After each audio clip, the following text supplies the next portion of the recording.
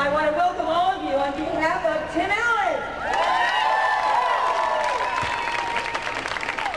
We're here to celebrate Tim, his career, his good work here on and off camera. He's surrounded here today by his family, his friends, his co-workers, and...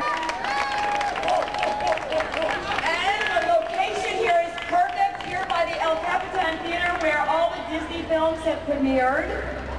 It was on the Disney Burbank lot where Tim and I, we were in the top 10 Nielsen rated shows the entire eight years that we did Home Improvement.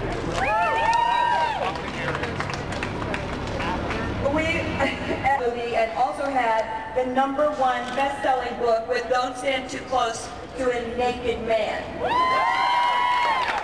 All for Disney. They gave him a Porsche and a Lichtenstein. But don't say anything about that. But grunting and chest pounding going on.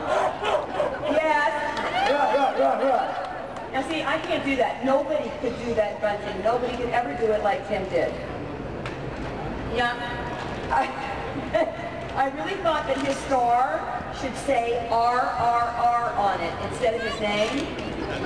Now, my son came up with a way to spell that grunt. We were at a bar one night on a Friday night. Uh, we all used to get together on Friday nights after the taping. Timmy Nolan, after the taping, and Henry was like six years old, and he drew a picture of Tim one night, and underneath the picture he wrote RRR. And Tim looked at that and he had one of those aha moments.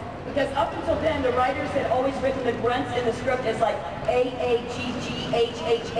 because they didn't know how to write it. So Tim saw that and went, ah, that's the way to do it. So that's why you see now on all Tim's merchandise and on all the Tim's, the Toolman Taylor tools, RRR. Well, maybe not all the Tim tools.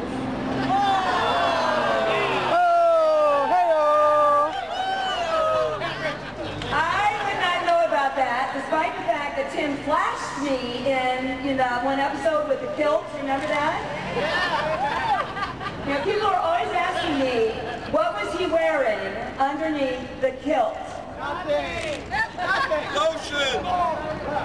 Uh, okay. He was wearing boxer shorts. Yes, he was. That's why I've never seen the tool.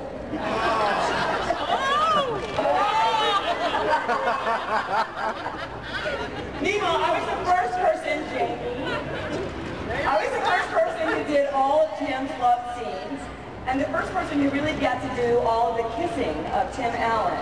And he said it was like, you know, we talked about how it was kind of like kissing wallboard. when I first came into the pilot, late as a replacement, he was so hysterically funny that I really, it was hard to keep a straight face while we rehearsed. For that process and for that experience that I had with him for those eight years, for all that I learned from him and with him, we went to school together during those years. And since then, uh, how hard it had been to say goodbye to Tim and our family Home Improvement. How hard it always is to form these relationships that last for years and are filled with so much shared laughter and sometimes loss, and then have it come to an end. So it is with even more pleasure that I get this chance to say to Tim that he was a huge part of my life, and he will always be a huge part of my life. Even though we don't see each other anymore every day.